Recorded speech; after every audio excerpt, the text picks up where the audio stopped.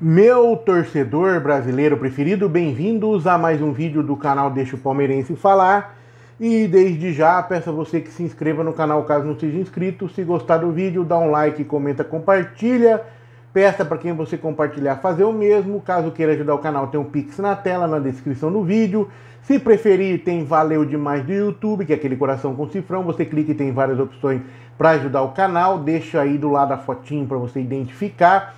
Muito obrigado a todos que já ajudam. Me segue lá no Instagram, no arroba Tadeu Verde e também no meu canal secundário do YouTube Quebre Toda a Cidade. Você pode também ser membro deste canal por apenas R$ 1,99 por mês, ajuda bastante, beleza? Vamos que vamos, falando de futebol, do Flamengo que vai estrear o seu novo manto agora em janeiro, já com data marcada. Segundo o diário do Fla.com.br, a diretoria do Flamengo chegou a uma definição importante para a temporada 2024. Ficou determinado que na partida do dia 27 de janeiro contra o Orlando City será a estreia do novo manto sagrado do Flamengo. Eita, né? O novo uniforme deve ter a sua abertura oficial de vendas no dia 26 de janeiro. Você já fique atento aí no site aí da Adidas, né? Provavelmente né, para os torcedores e ter a sua estreia contra o Clube Estados Unidos no amistoso. Então, logo, logo já está no dia 26 de janeiro, está disponível aí para quem quer comprar e deve ser uma bagatelinha ali de uns 400 para cima, né? Pelo menos tem sido assim ultimamente os preços das camisas de clubes oficiais no Brasil, né? Fazer o quê?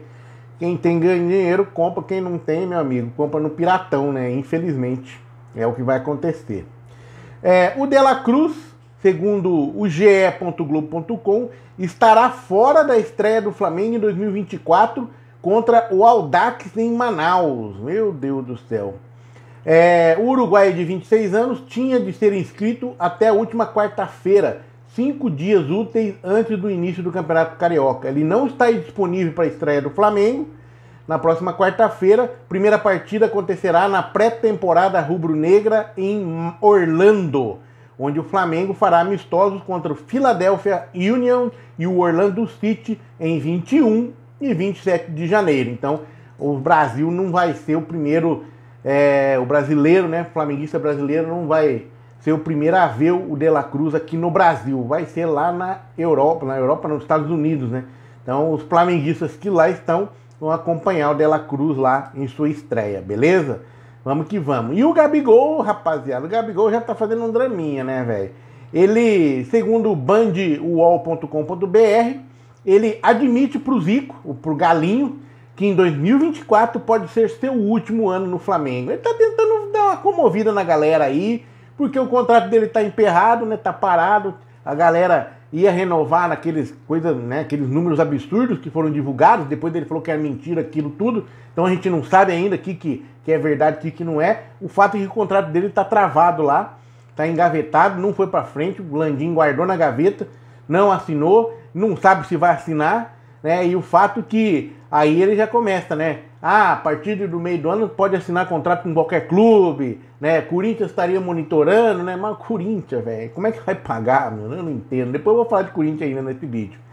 E o fato é, e ele dá, tá aquela, como, aquela tentar criar aquela comoção, né? Fica Gabigol, né? Pra torcida, né? Tem muito torcedor que não tá nem aí, né? Que eu já vi aqui na, nos comentários, quando eu falei do Gabigol, muitos não querem mais saber do Gabigol no Flamengo, acho que a história dele já acabou, né? E muitos outros, né, ainda acham que ele tem muito o que fazer ainda no Flamengo, né? Eu acredito que ele tem muito o que fazer no Flamengo ainda, até porque ele é novo, né, cara? É só ele querer, né? Agora, se ele não quiser, não vai fazer, né? É óbvio, né? Vai acontecer que nem em 2023, né? Ficou focando em Little Gabi, né? Cantor tal, e aí jogar bola que é bom não deu muito, muito pé, né? E aí é o seguinte, ó. É, convidado do programa Resenha com Galinho, comandado pelo Zico, que vai ao ar nesta segunda-feira, dia 15, na tela da Band, o atacante Gabigol falou sobre seu futuro e possibilidade de deixar o rubro-negro na final de, na temporada de 2024. Hein? Em um dos momentos da entrevista, o atacante do Flamengo foi questionado por Zico se vai voltar a brilhar após ter tido um 2023 de altos e baixos. Neste momento, o Gabigol afirma que vive seu último ano de contrato e não sabe o que pode acontecer. Eita, eu tenho mais um ano de contrato, tem a minha cabeça que pode ser o último. A gente não sabe o que vai acontecer, disse o Gabigol em teaser da resenha com o Galinho. Eita, nós, né? Vamos ver, né, cara? Então vamos ver, vamos ver, né? Ele tá, tá tentando criar de novo uma comoção. Aí parte da torcida vem, fica Gabigol. Aí os caras vão pra internet, coloca no Twitter lá, né? Hashtag fica Gabigol. Aquela conversa toda. Eu tô até vendo isso acontecer, viu? Vamos aguardar, tá? É, e aí, uma reportagem do UOL.com.br sobre o meu Palmeiras dizendo que por que o Palmeiras não busca reforços mesmo após somar 180 milhões em vendas agora recente com o Arthur e o Kevin. A gente já sabe, né, velho? Por quê? É, porque ele ainda não quer, velho, cara. Entendeu? É, aí a reportagem fala que o Palmeiras entende que valores finais das transações passam falsa impressão ao torcedor.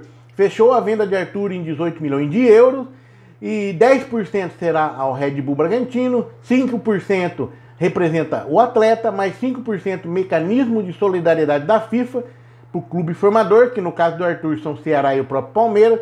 No caso da transferência do Kevin, Palmeiras aceitou uma proposta do Shakhtar Donetsk de 12 milhões de euros, mais 4 milhões de euros é, em bônus, né? Então seriam 16 milhões de euros quase, né? O Palmeiras terá que passar 30% ao Deportivo Brasil e os valores dos empresários e o do mecanismo de solidariedade. Aí tem a questão de pagamento parcelado, nenhuma das duas vendas são um pagamento à vista, que é muito normal em negociações por esses valores.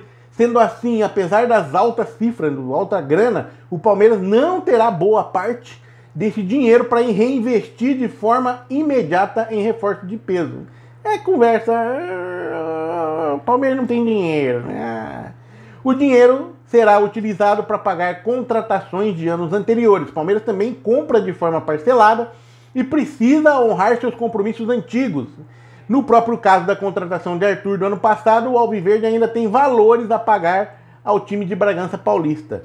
Custos elevados com o atual elenco também são um dos motivos. A atual presidente Leila Pereira e o diretor de futebol Anderson Barros adotaram como estratégia a manutenção do elenco vencedor das últimas temporadas e os pilares do elenco, do elenco ganharam renovações contratuais com grandes aumentos salariais.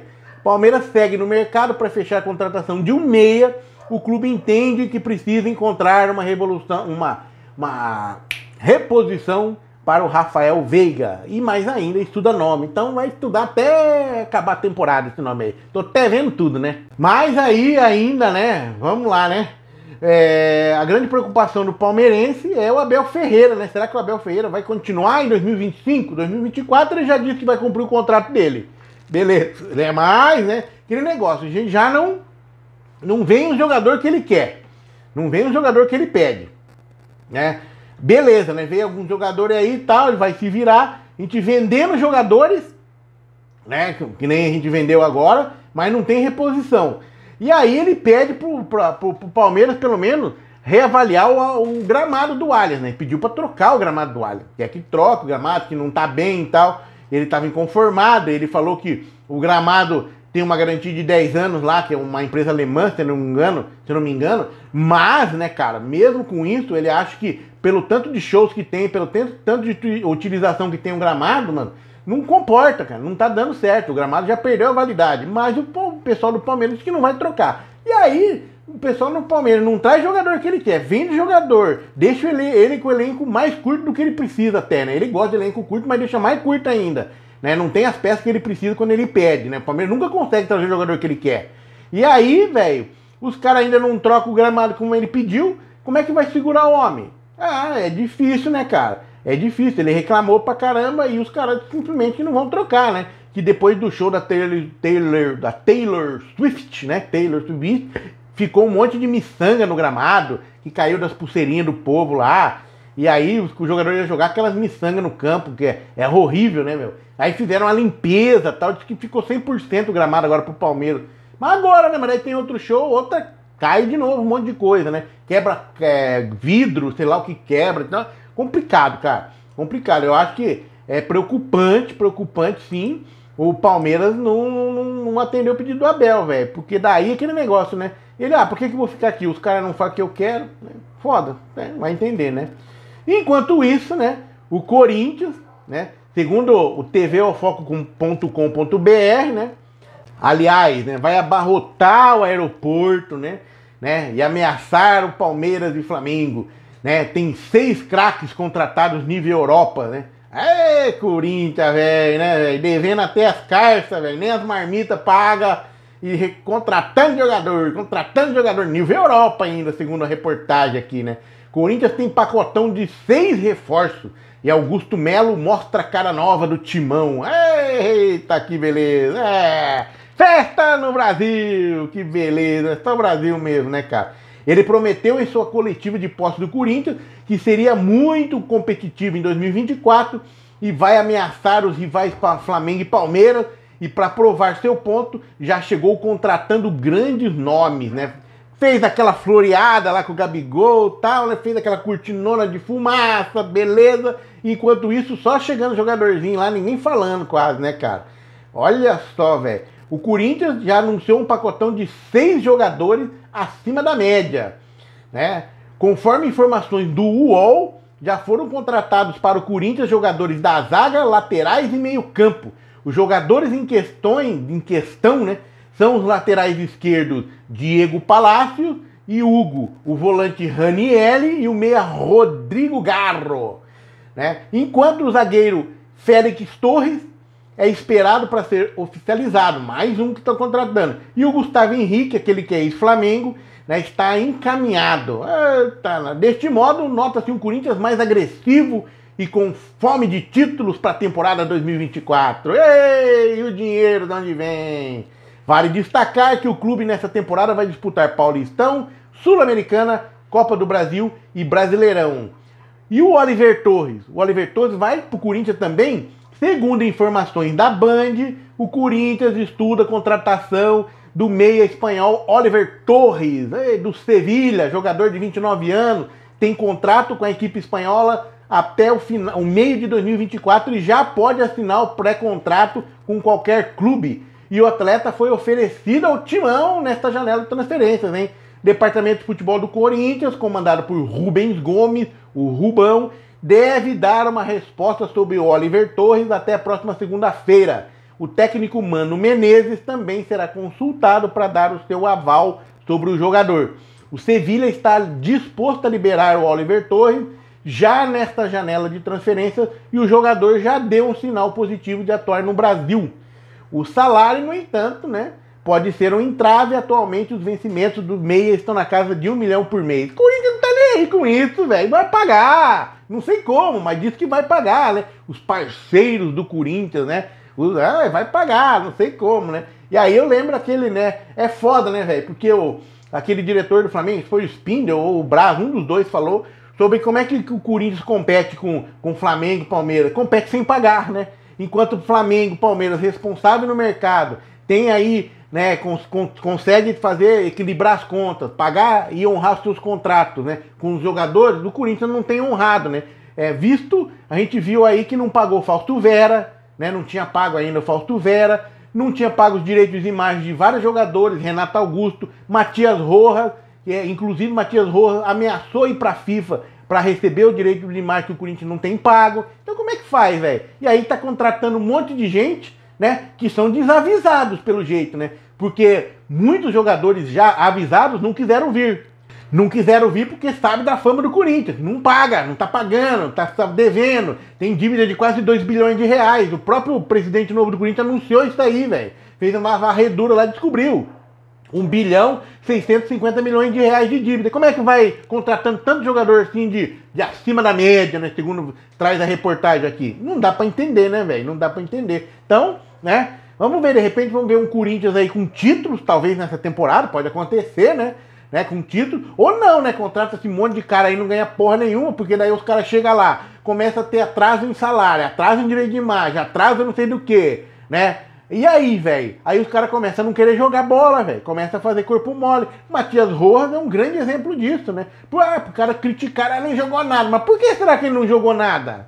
Aí você vê o cara querendo cobrar direito de imagem, né? Porque você vê porque o cara não jogou nada, né? O cara, no mínimo, se decepcionou, né, velho? É por aí, né? Então, vamos aguardar, ver o que, que vai desenrolar isso aqui. Eu vejo, eu não vejo um futuro bom pro Corinthians, não. Infelizmente pros corintianos, né, cara? Porque o Corinthians é uma torcida linda, uma torcida maravilhosa. Os caras são foda, são tudo louco pelo Corinthians mesmo, são fanáticos. Meu, mas estão sendo enganados, né, velho? Aí monta um timaço, né? E não paga e não ganha nada. E aí afunda mais o Corinthians ainda. Daqui a pouco o Corinthians tá aí disputando aí Série B de novo, cara. Esse que é, o, é, é, a verdade, cara. Esse que é o, o complicado da coisa, né? E aí, né? Aí tem que se remontar tudo novamente, todo aquele sofrimento de novo, sendo que poderia já começar a fazer né, uma mudança, uma responsabilidade, coisa que a nova diretoria deveria fazer, e não o caminho contrário como está indo, infelizmente. Beleza? No mais, tranquilos, coloque no comentário a sua opinião aí e tamo junto até o próximo vídeo. Até mais.